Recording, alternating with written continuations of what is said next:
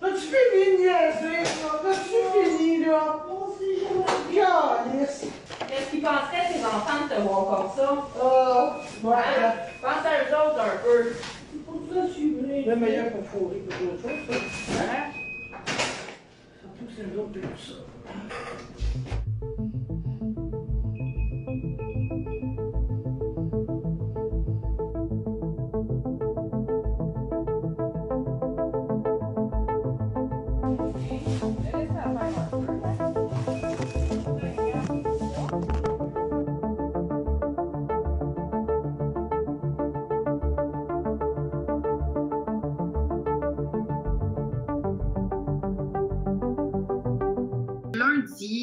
Québec, il y a une vidéo qui s'est mise à circuler sur euh, Facebook d'une femme autochtone atikamekw euh, qui euh, était hospitalisée à l'hôpital de Joliette, pas très loin de Montréal, ici au Québec. Euh, et elle s'était enregistrée euh, à l'hôpital où elle recevait des traitements depuis quelques jours pour des douleurs à l'estomac. Euh, dans la vidéo, euh, on peut entendre, on ne voit pas, on peut entendre, deux, au moins deux employés euh, qui profèrent des insultes racistes à son endroit. Les deux employés euh, s'échangent des propos très troublants et même euh, ont des propos très, très condescendants à l'endroit de cette dame, Joyce Eshakan, euh, 37 ans, une mère de sept enfants, euh, qui euh, ensuite, quelques heures après, quelques minutes après la diffusion de cette vidéo, est décédée. Euh, dans des circonstances assez troubles. Euh, moi, j'ai parlé à sa famille récemment, euh, à la suite de son décès. Euh, il m'expliquait que Mme Echakan avait une, une condition d'insuffisance cardiaque depuis plusieurs années et pour laquelle elle portait un pacemaker. Et elle ne devait pas, selon eux, prendre de la morphine.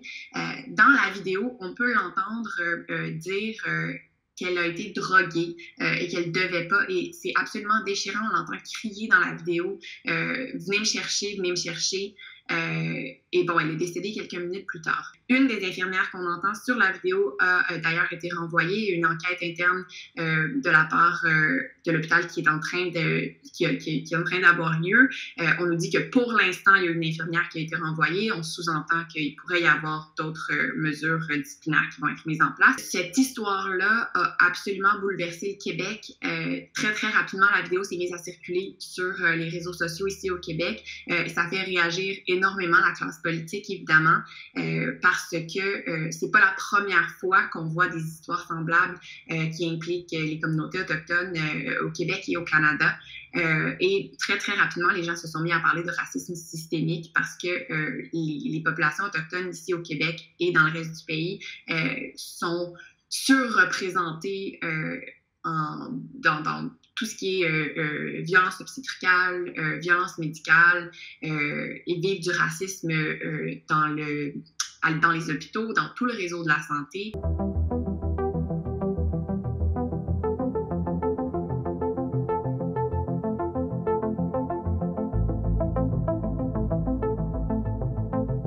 Le décès de Mme Echakan survient un an après le dépôt du rapport Vient ici au Québec, qui avait euh, noté euh, et, documenté l'existence de racisme dans les institutions québécoises. Euh, le rapport n'utilisait pas le terme racisme systémique, parlait plutôt de racisme institutionnel, mais c'est quelque chose avec lequel le Québec et le Canada doit se réconcilier depuis plusieurs années. C'est toujours quelque chose qui a été en toile de fond, en filigrane, au, fil des, gouvernements, surtout au fédéral, qui se sont succédés. Euh, il y a eu de plus en plus une prise de conscience par rapport au, racisme qui a été vécu euh, et l'histoire raciste sur laquelle s'est bâti le Canada aussi. Euh, mais bon, plus récemment, vous l'avez mentionné, il y a eu, l'enquête sur les femmes autochtones disparues et assassinées. Cette enquête-là a eu a rendu des, des recommandations au cours euh, de l'année dernière. C'était l'année dernière ou il y a deux ans, il faudrait vérifier. Euh, mais euh, c'est à partir de ce moment-là que vraiment on a senti une, volonté de trouver des solutions et de les appliquer. Mais là, entre la volonté de trouver ces solutions-là et, et le vrai changement qui s'opère sur le terrain, il y a un pas.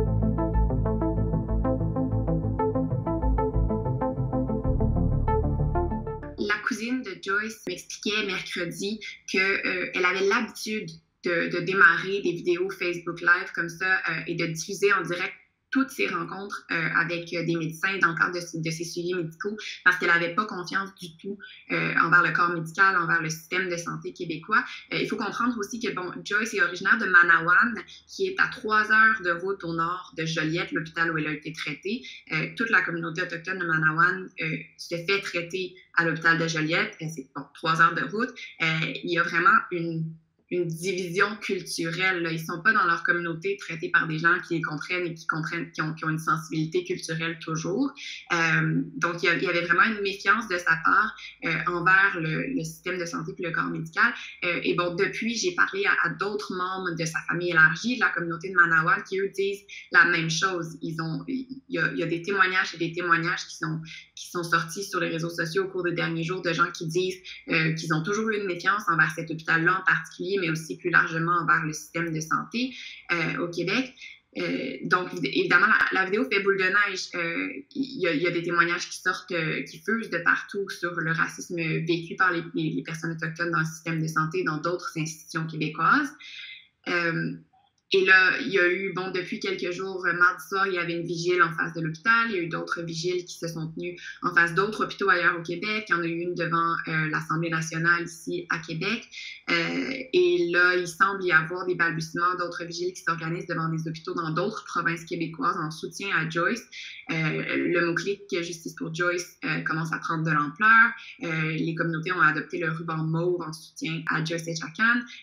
et on sent vraiment une volonté ou un, un sentiment de, de ras-le-bol, une volonté de prendre euh, cette, ce tragique événement-là et, d'en faire quelque chose d'un peu plus grand, un peu comme on l'a vu aux États-Unis. Bon, euh, il y, a des il y a des organisations ici qui n'ont pas hésité à comparer euh, l'histoire de, de, Joyce et Chacun à celle de, George Floyd ou de Breonna Taylor aux États-Unis, en disant, mais cette fois, ben, ce ne sont pas les policiers, ce sont plutôt des des membres du personnel médical, mais c'est la même histoire, c'est la même violence qui est vécue euh, par les, les communautés autochtones.